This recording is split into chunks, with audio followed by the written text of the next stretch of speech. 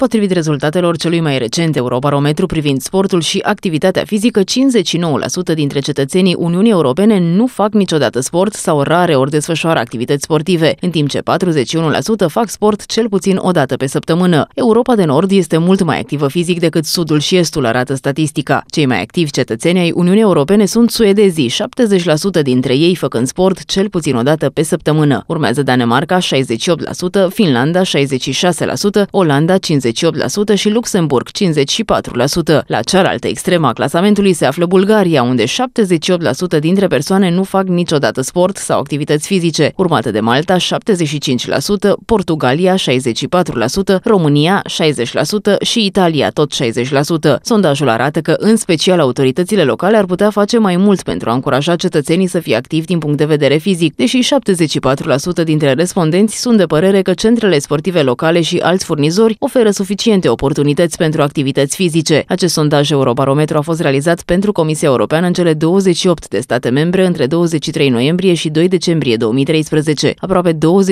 de respondenți din diferite grupuri sociale au participat la sondaj.